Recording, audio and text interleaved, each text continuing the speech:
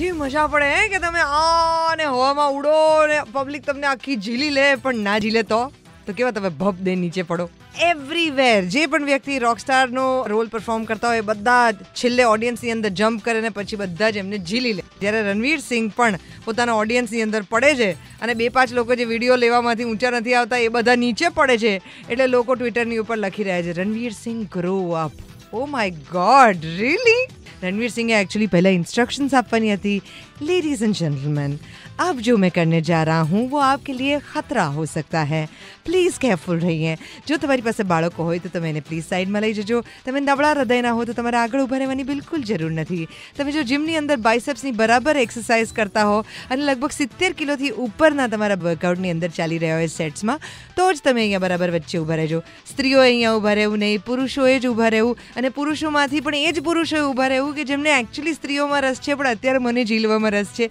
આ પ્રકારની ઇન્સ્ટ્રક્શન સાથે તમે ઊભા રહો ને પછી રણવીર સિંહ તમારી પર કૂદે. એમાં પણ એ તમને કહે કે one two three see I fooled you let's do it again one two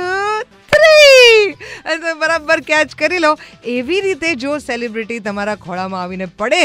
તો જ સેલિબ્રિટીએ બરાબર કામ કરેલું કહેવાય કારણ કે એ પહેલાં પણ એને ઇન્સ્ટ્રક્શન આપી છે ને એ પછી પણ કોઈ પણ વ્યક્તિ ઊભું થઈને એવું કહી શકે કે તમે ઇન્સ્ટ્રક્શન આપી હતી દેટ મીન્સ તમને એડવાન્સમાં ખબર જ હતી કે જો તમે ઓડિયન્સમાં પડો તો કોકને વાગી શકે એમ છે ને તે છતાંય તમે આ ખતરો લીધો એટલે તમે તમારું સેલિબ્રિટી સ્ટેટસ જે છે એ બરાબર નથી નિભાવી રહ્યા તમારે જવાબદાર સેલિબ્રિટી બનવું જોઈએ Ranveer Singh I feel you man I feel you हर सुबह तू आती सबकी है तू बजाती आरजे है ये number one one one Thank God she doesn't have a gun Ahmedabad की रानी अब है इंडिया की रानी। इंडिया की रानी। देवकी ने जीता बेस्ट आरजे ऑफ़ इंडिया का award at the international radio festival